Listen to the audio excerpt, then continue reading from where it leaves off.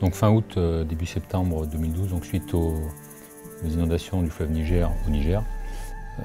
le gouvernement local a fait appel à la France pour une expertise,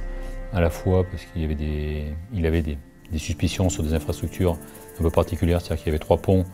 euh, qu'il estimait peut-être menacés par la crue ou ayant été fragilisés, donc il voulait un, un point particulier là-dessus. Et en même temps, le gouvernement nigérien voulait aussi une aide en termes de gestion de crise parce que la crue était largement supérieure à la crue de 1929 qui pour eux était la crue de référence. Pour répondre à ce genre de sollicitation, euh, les formations militaires de la sécurité civile mettent sur pied un élément de reconnaissance et d'évaluation qui constituait euh, de 4 à 5 personnes. Vous avez toujours un chef de détachement, un sous-officier spécialiste transmission, et après vous y additionnez des experts en fonction de la, du type de mission. Donc là, on était sur l'expertise de bâtiments ou d'infrastructures,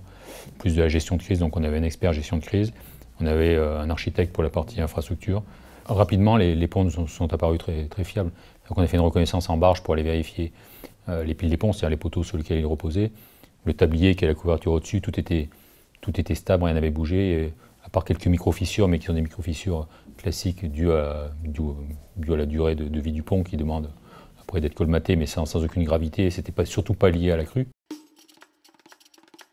Le, danger venait des digues, puisqu'en réalité, euh, elles s'appuyaient sur une zone rocheuse et avec euh, un affluent qui, arrivait à perpendiculaire sur cette zone-là. Donc là, on avait vraiment un risque de rupture à la prochaine montée des eaux. Donc c'est ces zones-là qu'on leur a conseillé d'empirer, qu'on a conseillé de renforcer, parce qu'on savait que les, points de faiblesse étaient là.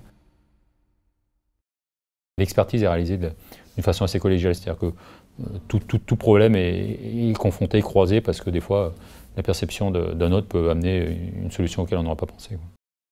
En fin de mission, donc sur la première mission d'évaluation, toutes nos propositions ont été faites devant les autorités, donc c'est-à-dire le euh, Premier ministre, euh, l'ambassadeur de France, euh, de façon